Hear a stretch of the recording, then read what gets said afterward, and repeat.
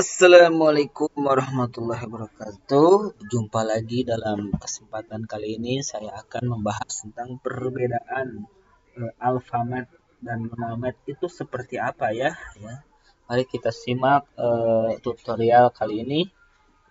Saya akan membahas tentang perbedaan antara alfabet dan lumamet. Ya. Sebelumnya apa itu alfabet? Alfabet adalah Seleksi masking berdasarkan tingkat transparansi itu adalah alfabet. Sedangkan lumamet adalah seleksi masking berdasarkan tingkat gelap terang atau luminance ya. Nah, pada kesempatan ini mari kita lanjut lihat bagaimana ya caranya tutorialnya e, membuat perbedaan antara alfabet dan lumamet. Simak saja ya dari awal sampai akhir dan ikuti langkah-langkahnya.